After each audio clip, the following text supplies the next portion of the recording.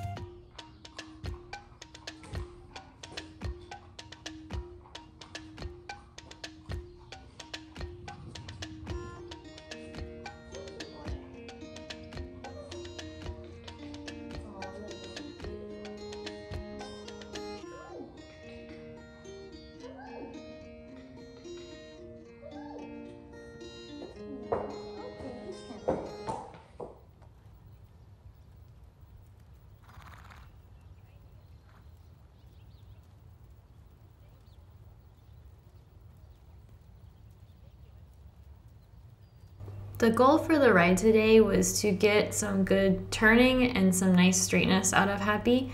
And it's not really Happy who's having the issue with straightness and turning, it's really me. I am really, um, let's see, I don't know if I'm necessarily super weak through my left side of my body now, but I definitely do not really get my right seat bone in the saddle all the time. And as you see, I really try to lengthen my leg down, my right leg down, but it definitely comes up. And then I also brace on my left like oblique. So here I did a slow-mo of this. I thought it was really interesting. So this was me asking him for like a mini leg yield. And you see like he is stepping through. When I move my leg super far back, he starts to really step under with that right hind. But I feel like he's really braced through his shoulder, which is kind of what we're working on right now. I use my inside rein to move his shoulder over and to kind of stop it, and it works a little bit. And you see him stretch, but I feel like he's super on the forehand. And then here you see I really shove that heel down in my right leg, and that puts my right seat bone down. And then I feel like he actually lifts through his shoulder and his back, and you can see him look really lovely over his top line. So it's been really interesting and this ride was really interesting for me to watch back because there was so much that I did. Like see here I pushed my leg back again. He moves his hind super far under, but then he's still bracing again with his shoulder. So it was really informative to watch this and to just see like in slow motion the things that I'm doing are they actually having an effect on my horse because I'm telling you sometimes I don't even feel this and like seeing this was just like super fascinating. So that's why i slowed it down so that you guys could see it and i could walk you through like what i was doing exactly there. But that was actually really nice. I felt like he did really well with that and i was happy with that. So we moved on from there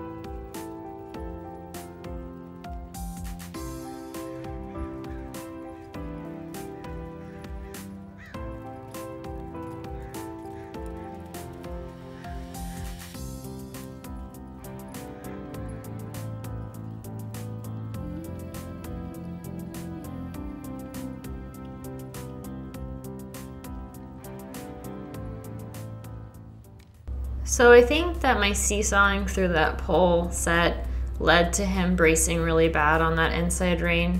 But I couldn't get him to stop bracing on it, so my solution to that, which was what we did in my lesson the day prior to this, was to stop and do a quick turn on the, not forehand, on the hind, and then start again.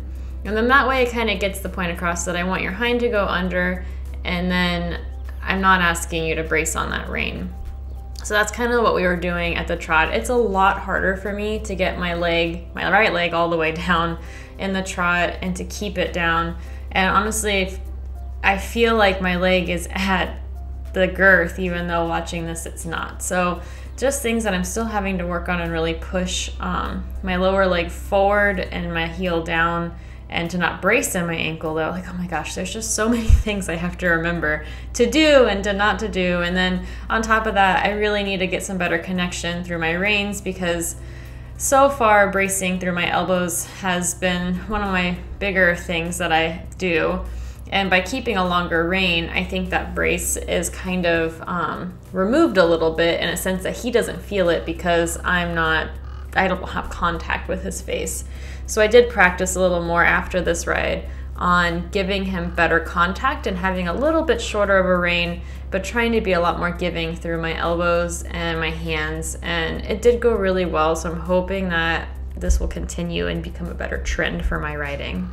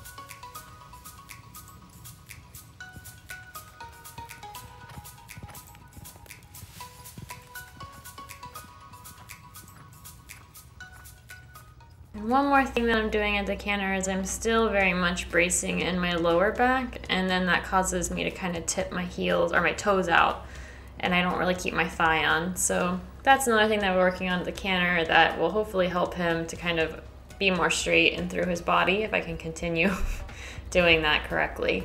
So there, I feel like Happy wasn't really aware that we were going to go over that jump, which is kind of our thing. When he just doesn't know he's going to go over something, he just stops and like basically looks at me like, what the heck? Because then like once he realized, oh, that's what we're doing. Oh, okay. Then he just kind of went over it. So yeah. But yeah, so I've been bracing so much. I've been bracing less than I used to, but I still have these like elbows, lower back, and ankle that I brace in that I'm just working really hard to stop bracing in. So it's just a work in progress.